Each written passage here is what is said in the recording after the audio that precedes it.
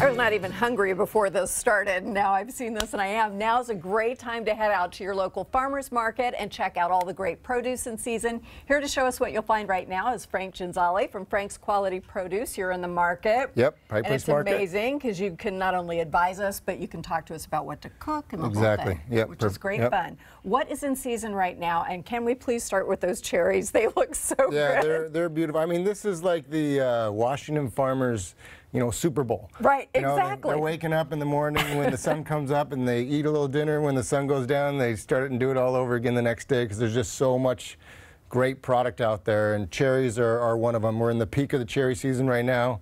And um, they're big and crisp and sweet, and They're you just can't go wrong. They're everywhere. All Let's talk farmers about some market. of the varieties. Well, this is the Rainier variety. Mm-hmm. Um, it's got that little blush to it, real sweet, a little different taste than the uh, the Bing variety.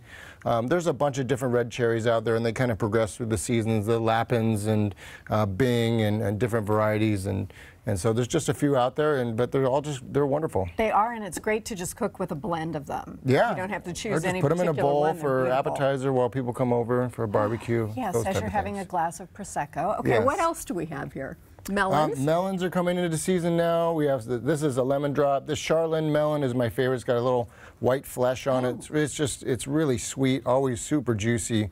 This And- one? Yes, yes, Sharlyn melon. It's really really nice, Looks beautiful. like so. That is beautiful. Yep, those are really good. Alrighty. What about this guy? And this is lemon drop. Um, it does have a little bit of a hint of lemon to it, but um, yeah, they're they're more of a crisp little melon, but they're they're really they're really flavorful. And then here's a seedless watermelon. Yeah, I put a little piece out here because it's you know watermelon season, June and August. The sun's out.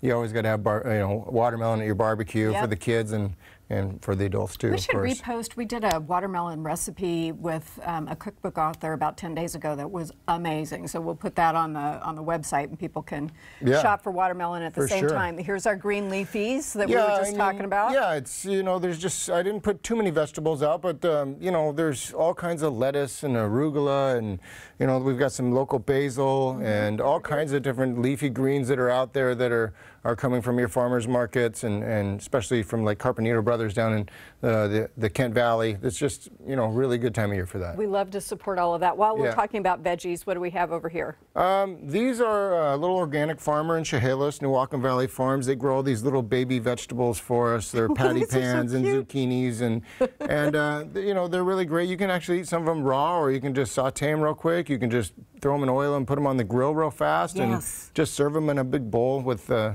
you know, just a little bit of olive oil, and, and it's good to go. And that's all you have to do. What are these white beans? Those are uh, yellow wax beans. Mm-hmm. Um, those are also, all this is grown locally. There's the yellow wax, these are uh, Romano beans, and they're just kind of a little flat variety, great with Yeah, a a little, little bit of um, pancetta and uh, beans. is just, it's really great Oh right my goodness. All right, let's talk about these beautiful fruits. These are all very good, kind of low in sugar, very healthy, lots Yeah, of fiber. Yeah, super healthy right now. I mean, just blueberries right now are, I mean, the peak of the best blueberries you can get.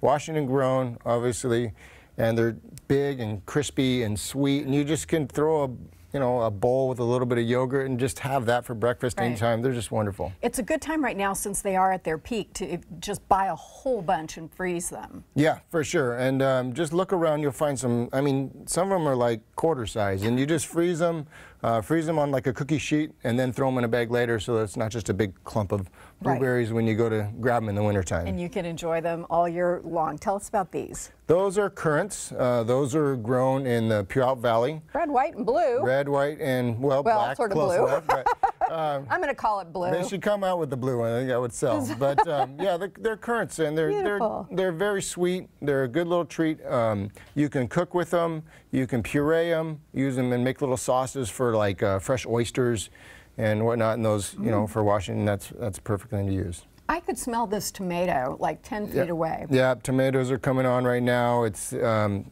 you know caprese salad season. You know, it's like everybody's doing it We're every ready. night almost. It's just perfect time. All right, peaches. I love peaches. People like to cook with them. Also, something we can slice and freeze if we want to. Tell us about the different varieties. Yeah, uh, this is uh, all the stone fruit now is coming from Washington. The peaches are, are just coming in, fresh nectarines. We have the donut peaches.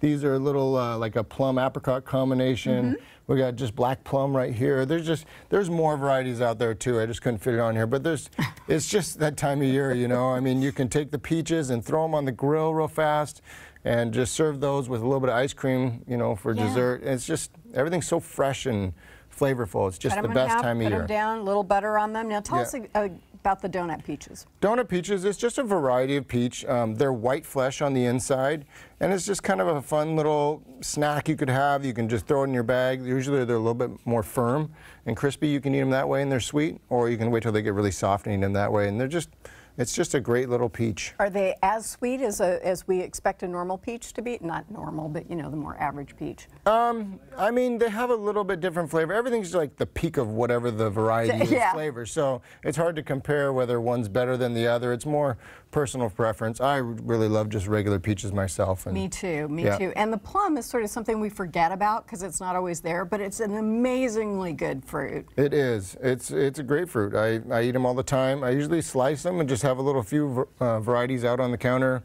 I have three kids, so they just eat them up. That's very good. What are these guys over here? Oh, these are uh, Washington apricots. Um, they're just, this is kind of the peak of them. They're going to start tailing off now a little bit.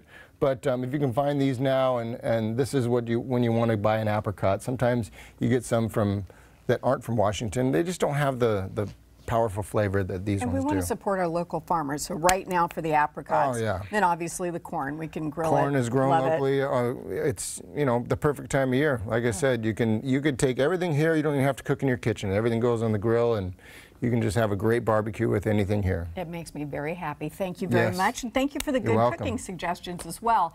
So a unique enrichment cruise aimed at helping you discover what makes you happy and how to achieve what you really want in life is our subject after this.